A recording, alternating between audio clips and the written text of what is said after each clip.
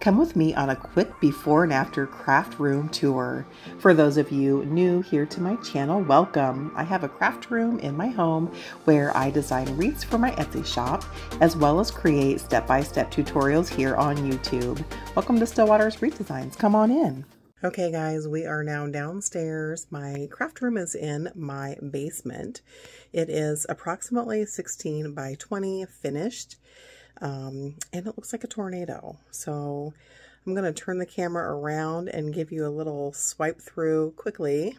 It's so bad, guys. Oh my gosh. And then once I've cleaned up this war zone, I will show you what it's looking like. Are you ready? Okay, so we're at the doorway now.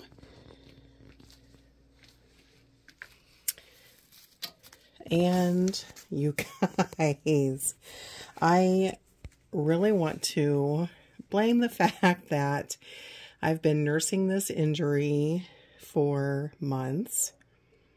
But really it boils down to laziness and this room is overwhelming. Okay, so we're walking in the door. I'm literally standing in the doorway. That's my photo prop wall.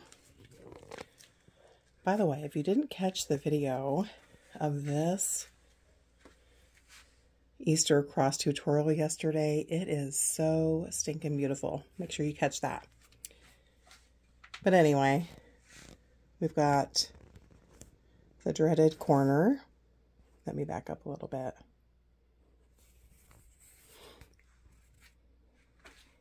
We've got an overwhelmingly stuffed rack of signs. guys. Oh my goodness. Look at this. I really don't know if this should be on my YouTube channel or the Hoarder Show. I'd say it's a close call. Look. All right. There's the reality of it all, guys. Okay, guys, excuse the red face, but this craft room no longer looks like a health hazard. Let me show you what I've done. Okay. So we're standing in the doorway. All of our shipping boxes that just came in. Haven't yet touched the baker's rack that holds all the signs. We'll save that project for another day.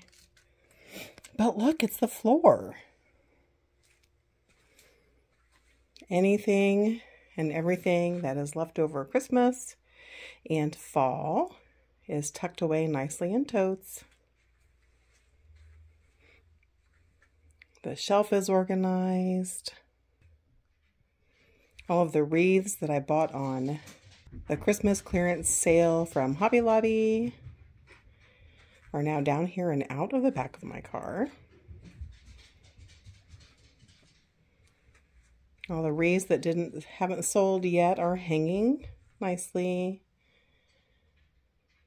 Lots and lots of storage, wreath frames, swag bases, all the things. Flowers are all tucked away nicely into their spot. You can nearly see the top of my work table. All the deco mesh is tucked away. Ribbon is rolled back up and put away. You guys, it's not a bonkers mess anymore. I still need to run the vacuum and deal with all those signs on that shelf, but we will deal with that later. So let me just show you real quickly. I get a lot of questions about how I store my ribbon.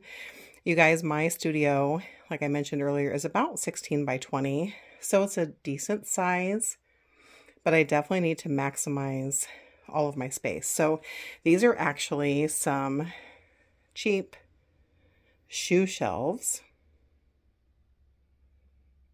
that I got from Amazon that honestly, unless it were kid shoes, I don't really see how they would hold them.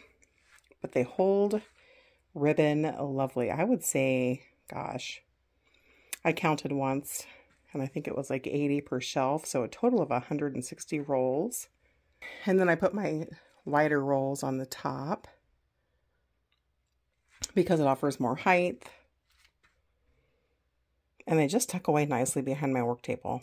So that's how I store my ribbon. And then my flowers,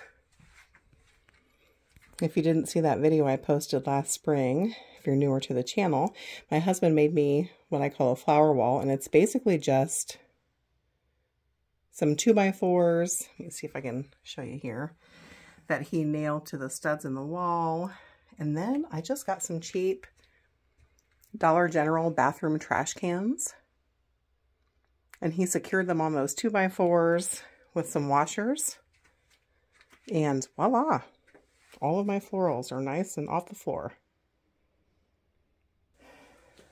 Okay, let me show you how I store my mesh. So this is my work table. This is where I do basically all of my designing and creating. My husband actually made this for me. And so these are just cube storage units that I got from Amazon. I've got a nine cube here. And then I've got a six cube on this end, which holds all of my shipping labels and bubble wrap and things like that. Six cube storage shelf here. And then the top of my work table, let me turn this way, guys, is just an old door that we had in the garage that we cleaned up and he literally nailed to the top of those cube storage. So it makes a fantastic workstation. So there's how I do all of my storing. Let's do one more quick pan here because it won't be this clean again until next January or February. So you walk in the door, we've got a baker's rack full of signs.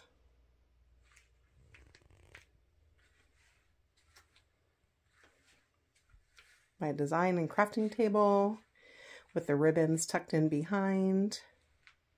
There you can see my gooseneck, so when I'm recording all my designs, that's where my phone's at my floral wall, lots of wreath forms,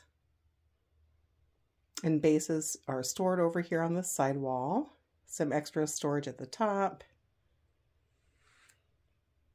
I've got a garment rack that I hang the wreaths I'm, that are waiting to sell. Another storage shelf.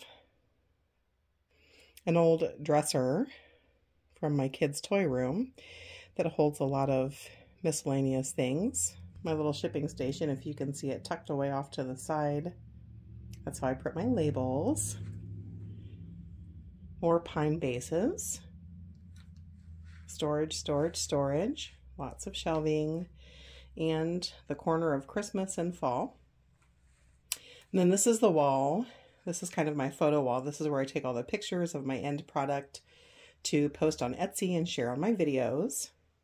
So it's just a door that we painted black and leaned up against the wall. And then I've got a photo prop behind it, a couple of ring lights, and then some shipping boxes that just came in.